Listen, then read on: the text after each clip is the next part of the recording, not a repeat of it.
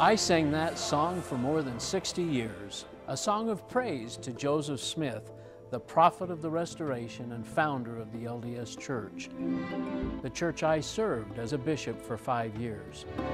I knew the church was true. I was a faithful Latter day Saint. My life has been built on certain truths, but wishing doesn't change the truth. Jesus said, You shall know the truth, and the truth will make you free. When I finally learned the truth about the real history and doctrines of Mormonism, I realized that I was following the gospel of Joseph Smith and not the gospel of Jesus Christ. I have come to learn that many others have made a similar journey out of the bondage of religion and into an authentic relationship with Jesus. And that's what this show is all about. Courageous people who want to share their story, hoping that you, the viewer, will discover the same new life in Jesus. So if you're a Latter day Saint who is struggling with questions or seeking a genuine encounter with the Savior, we invite you to join us tonight. We have a joyful message that we want to share with you.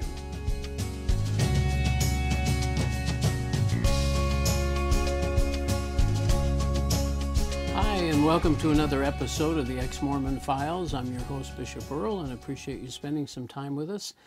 And today we uh, will be introduced to Stacey Bryant. And Stacey, I'm so appreciative of you coming down a little bit of a trip in this bad weather and coming and sharing your story. You. Stacey is uh, kind of a recent uh, convert, so to speak, to Christianity, and so uh, and a very interesting story you have. Where you you weren't uh, where were you born? Yuma, Arizona. Ah, okay. And did you live there very long? I um, lived there for for seven to ten years of my life, and then Yeah. we moved around the country a little bit, and then mostly were back and forth into Arizona. Oh, okay. Yeah. Beautiful country down there, I guess, and a little deserty, of course. But so uh, you weren't born in the church, is that right? No, we're converts to the church. Okay. And how old were you when you were approached, I guess, or your family when they were approached by the missionaries? Um, I was nine years old. It was 1975, yeah. and we were living in Sacramento, California. Oh, were you? Mm-hmm. And uh, did you were you given the lessons at, at that young age, or how did you? They just decided you were going to become a member, right? Um, my mother met and married a man who was a, a Mormon, who was LDS, and his parents um, introduced us to the church and to the missionaries. And they taught us, we went to the church to be um, taught the discussions. Back then, they were the flip charts. Okay, and you were And, um, included in that. I, we, I was there, and my, my brother, who was eight years old at the time, was there, and my mother. Um, I remember distinctly um, being in a um, the those kind of chairs that you have at school with the desk on yeah. them, and leaning so far forward to hear what the missionaries had to say that I almost fell over. I we, we were we just bought a hook, line, and sinker, Yeah. and then were baptized very shortly after that um, into the church. Wow. And um, so you started your journey in Mormonism. I guess you went to primary and Sunday school and all the Yeah. kind of things. Did you take seminary? in Um, I took seminary in high school. Um, I we did move around the country a little bit because my mother was married to a man that was in the military. So um, sometimes it was a little hit and miss, just because I would um, go into school in the middle of a school year, things like that. But um, yeah. I did go to seminary. I was going to ask, what were your were your do you was your were your family uh, were they religious before you uh, the My the mother, along? my mother had been searching for religion pretty much her whole life. Like when I knew her, she was.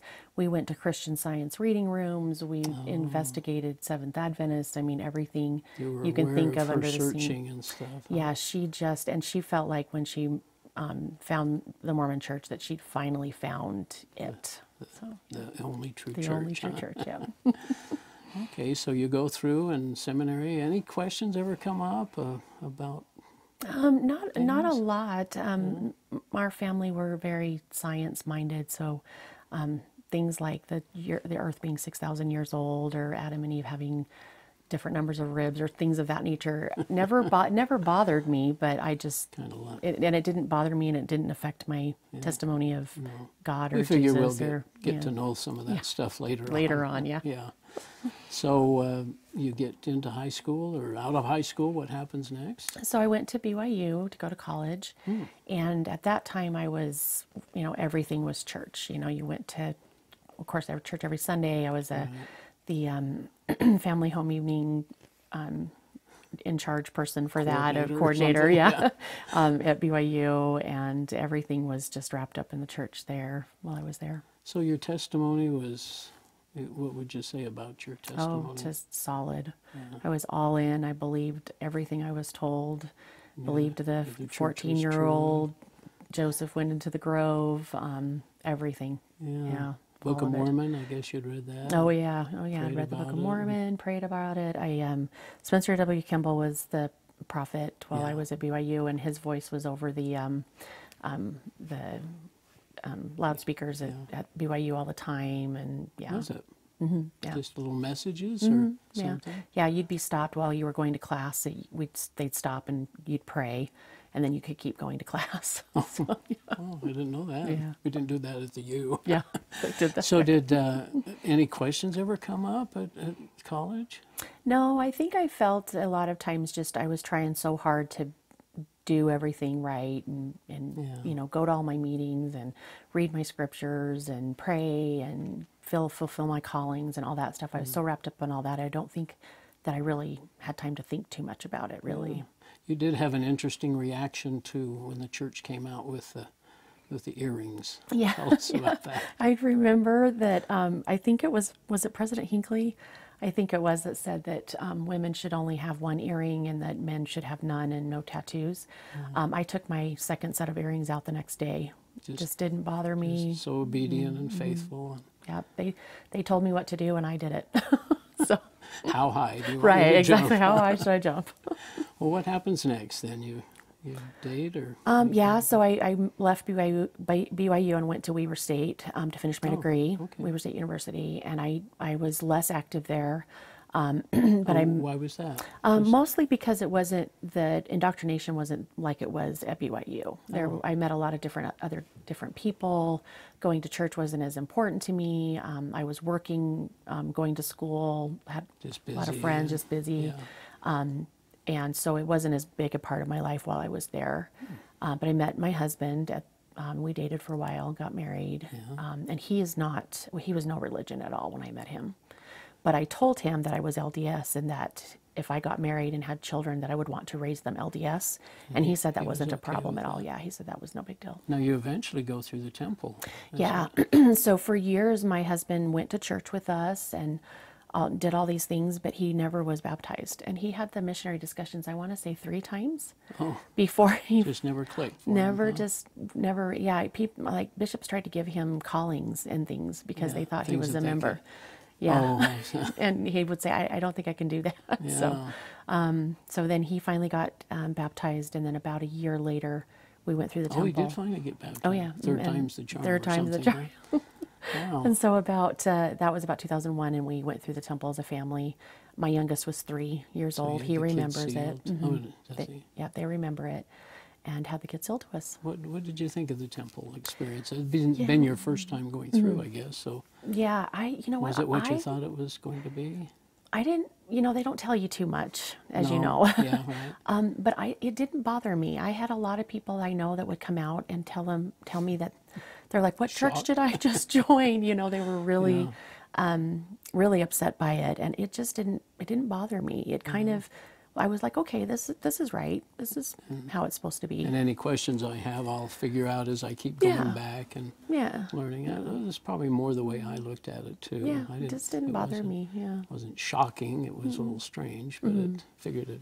Well, and my husband was in a fraternity and I was in a sorority, and so a little bit of some of the things that went on in the temple were The familiar. initiation yeah, stuff. yeah, That's were kind of familiar to us. We were kind of like, okay, I had You never know. thought of that analogy. I but, think that's how we yeah, were, were thinking of it. yeah, So join the club and get initiated. Yeah, right. I guess. So, uh, okay, then what, what's next?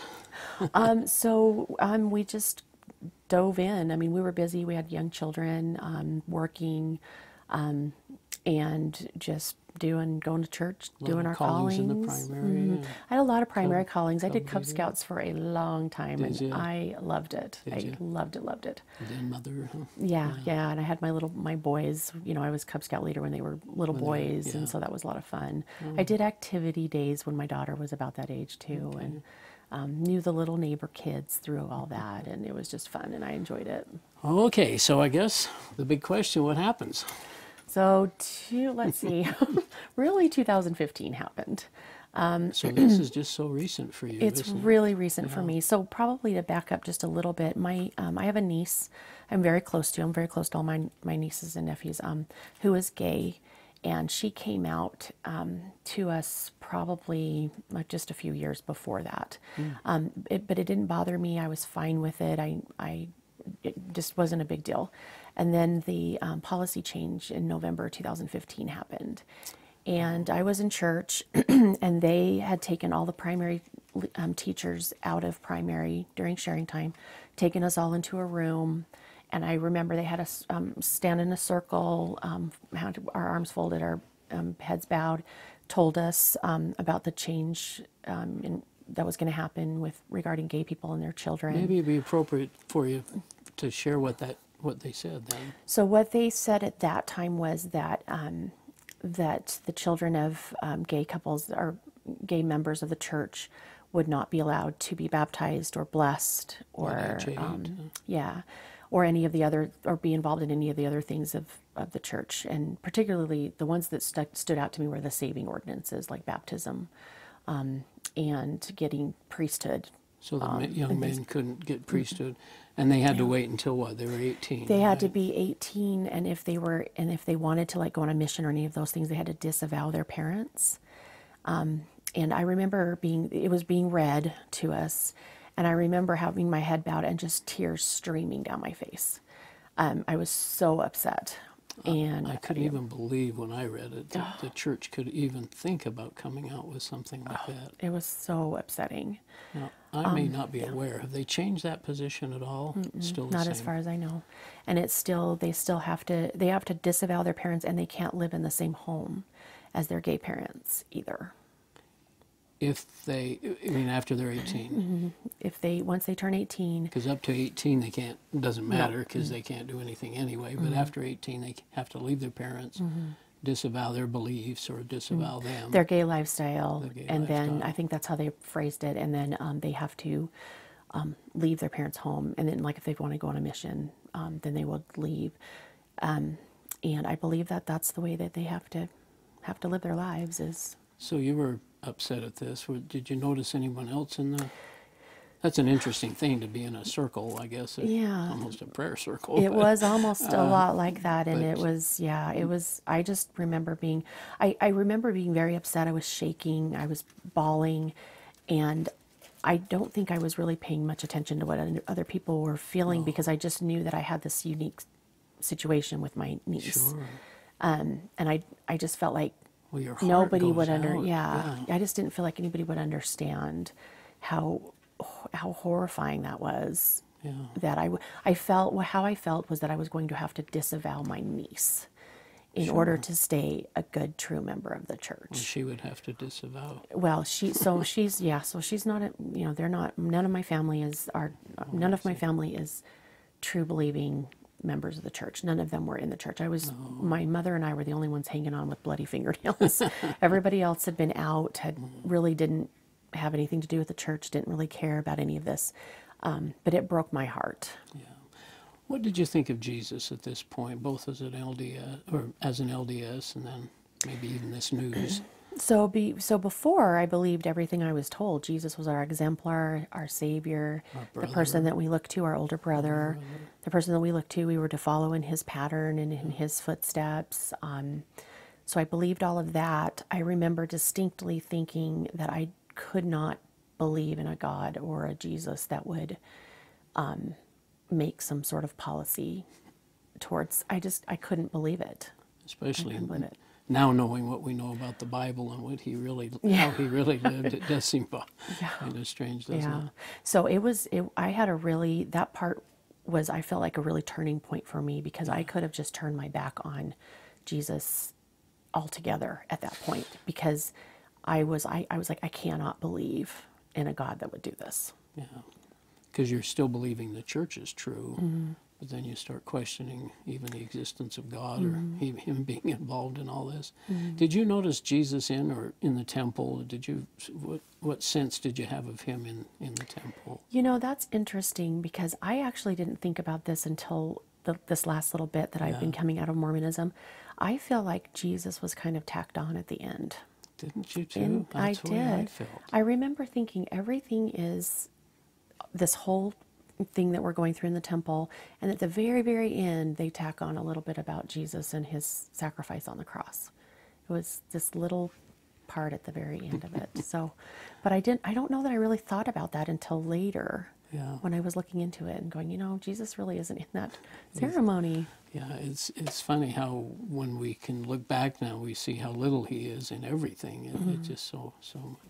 So that upset you. What did you do with that information then? And So the first thing I did was I went home and I told my husband about it and um, got on my knees and I cried and I prayed and I read the scriptures and when you say the scriptures, what So, like Book of Mormon, Doctrine and Covenants, Doctrine and looking for answers or yeah, something. I did Yeah. read the Bible, but um, you know we're led to believe the Bible is suspect and not to so be you- trusted. So trust yeah, and prayed a lot and and uh, really wanted to understand because I at that time still believed that the prophet spoke to God, and so it never occurred to me to say, "Well, the prophet is saying this, and the prophet's wrong." I thought, "Well, God's wrong." It, you Yeah. know, that's how much I associated That's funny. the isn't it? prophet with God. Yeah. Yeah. That he was always correct. And Mm-hmm.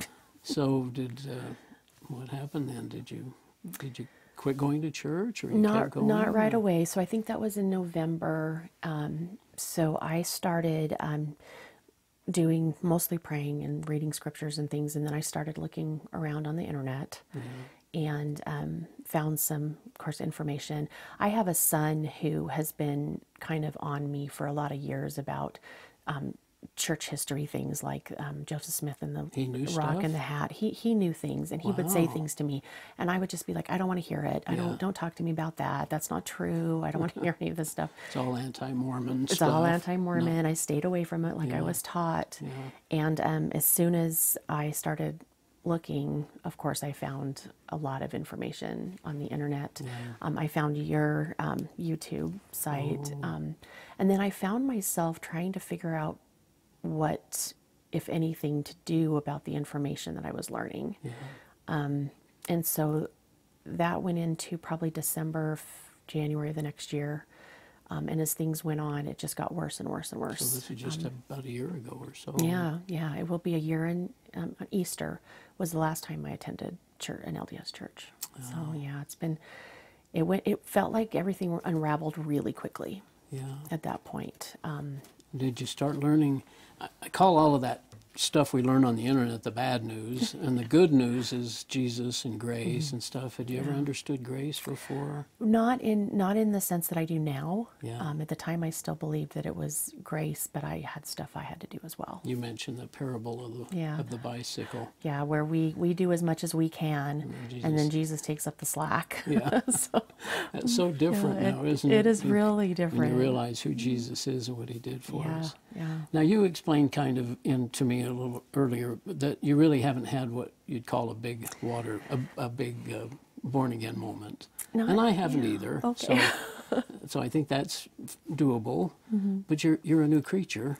Do you believe that? Oh, you see yes. Mm-hmm. things differently. You understand things differently. Yes. Talk talk to uh, about that a little bit. Well, I just I just now know that the the huge huge sacrifice that Jesus did for us was on the cross. Right. That and that that is everything. It's there's not anything that I bring to the table, you know. It's His I righteousness, it's right? His. I, I know it's there's nothing there. I I spent most of my church time believing that if I was good enough, Of course. if I checked the boxes, if I went to church and read my uh-huh. scriptures and did my callings and paid my tithing and went to the temple, did all those things, I was guaranteed a spot. Oh yeah. and I That's the promise. and then, it? but in all those things that I just said, not one of them is believe that Jesus died for me and that he did it all and took it all on him. my yoke is easy, my burden is light. And and yeah, and I thought that I that I could do it. What made that little transition? That must have been a moment in time, though, for you to say, "Wow, I, I'm seeing this differently now." Well, and it's really um, my my new pastor and my new church um, opened my eyes to that because I didn't I didn't really understand Yeah. any of the um, the things that Christians know and and believe. Well, isn't that what you were kind of saying when we when we're good Mormons, and then we come to realize the church isn't true? We don't have a foundation in Jesus. We don't trust the Bible. So now what? Now what exactly? Yeah. So what, what? How did you find your church, and well, how was it going the first time? That must have been a unique. Yeah, was for me. So I I left. Um, I had found this church. Um, it's in it was in my neighborhood. They have they had signs up and things. Um, and the day that I decided I was not going to go anymore, I left church that day and I drove over there. What moment. Oh, it was yeah. I, I left church. I got in my car and I drove over there and I thought, oh, for sure, surely nobody Heart goes here. I know. yes, out of my chest. Yeah. Um, and I thought, well, surely nobody goes there. I mean, Yeah. nobody goes there, right? And so I went there, and there was a lot of cars in the parking lot. I thought, okay. Um, and it was at the end of the service, so people were leaving, and I sat in my car for a few minutes, stealing my resolve. Mm-hmm. And probably the hardest thing I ever did in my life was to walk across that threshold into that church. Yeah, Had a cross on it, probably. it did. And I walked in, and Were you wearing a dress? I was. I was dressed Oh, in you my, my I was dressed in my LDS church clothes. Sure. And I walked in, and at the at, um, I walked into the sanctuary, which I didn't know what it was called at the time, yeah. and walked up, and there were these three women sitting at the front of the church, and I stilled my resolve and walked up there, and That's, how brave is that? Ah, I'm it was so proud of it was so hard. It was so hard, and I walked up there, and they sat down. I, they said had me sit down and talk to me for a few minutes, and all three of them were ex-Mormons.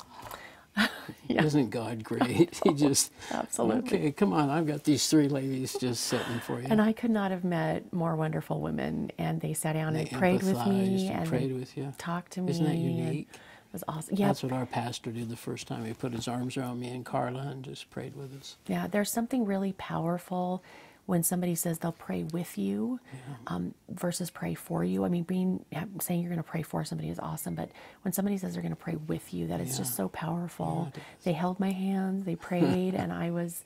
I just felt like okay, this is this is where I need where I'm supposed to be. This is this is where the Lord has led me to, Yeah. to be so that I don't walk off a cliff without a Yeah. net. So Isn't that it was wonderful. Yeah.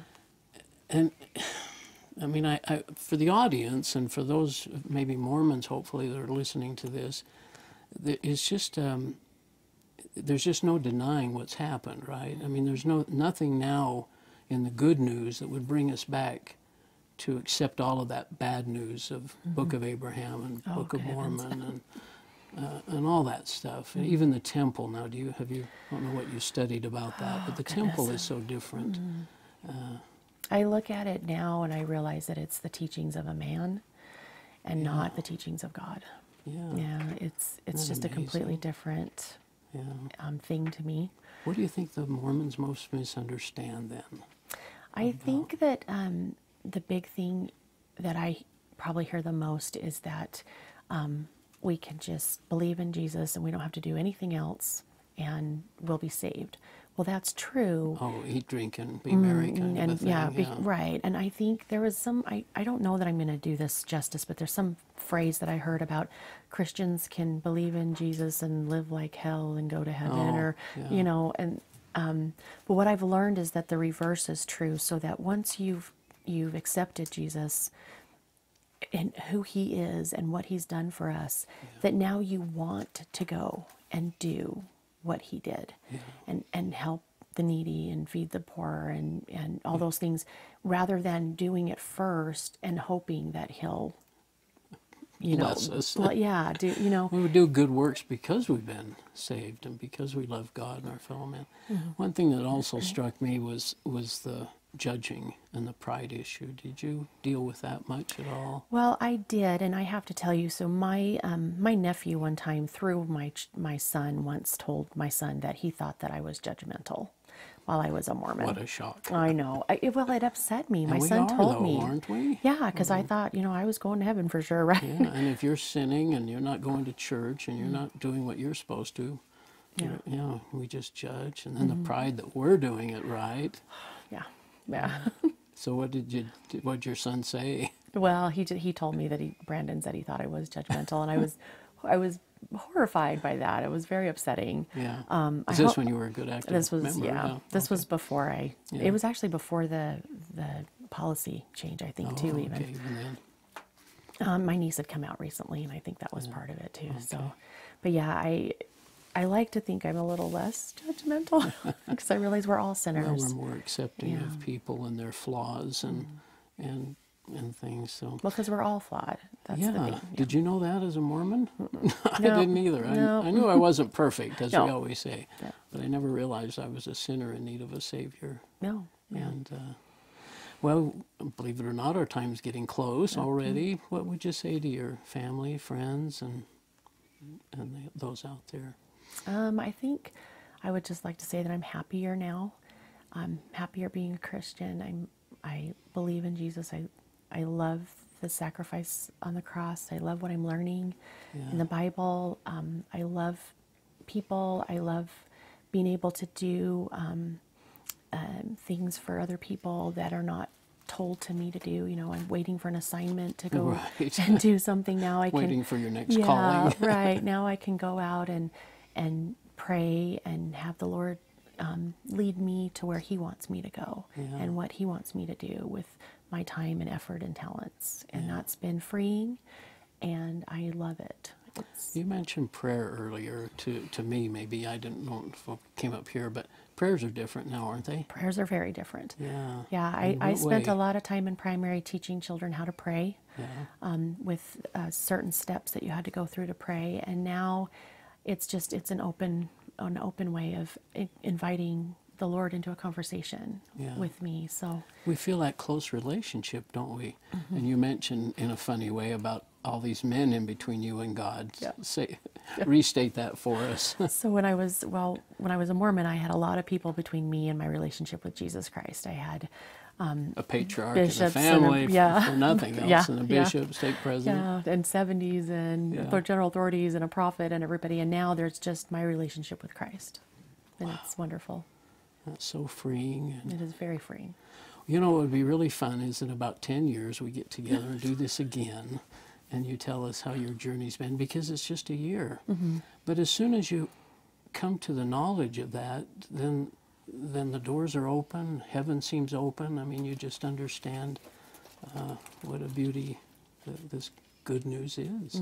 and it is good It's news It's wonderful. yeah Well, gosh, Stacey, we're we're done, I guess, and uh, really appreciate you coming up and sharing your story. And um, I hope somebody will listen to this and kind of think Yeah. maybe maybe there's something there that I'm missing yeah because you're a lovely young lady thank and got lots to share. Thanks for joining us. We'll see you next time.